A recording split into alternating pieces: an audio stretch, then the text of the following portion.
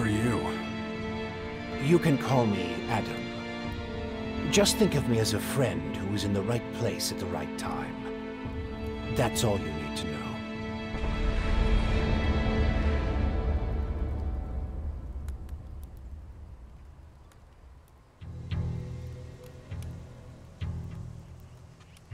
Ugh, what happened?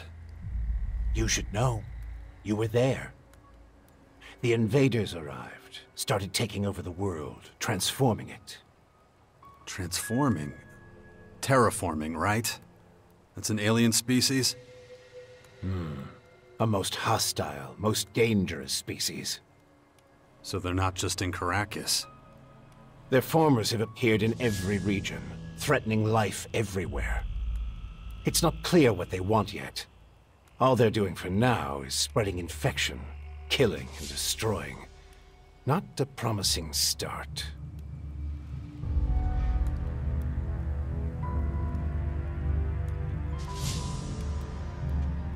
Something's not right. I feel... I feel weak.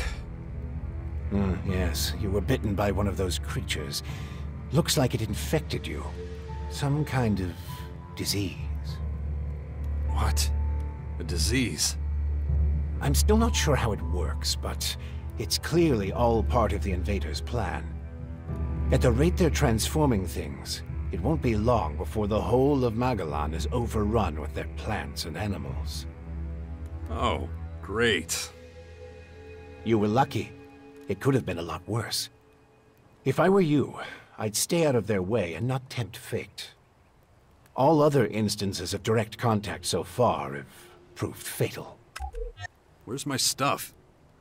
If you're talking about the belongings you had in that hut, you can forget about them. All I could save is what you have on you. How long have I been out? A few days. You're still badly hurt.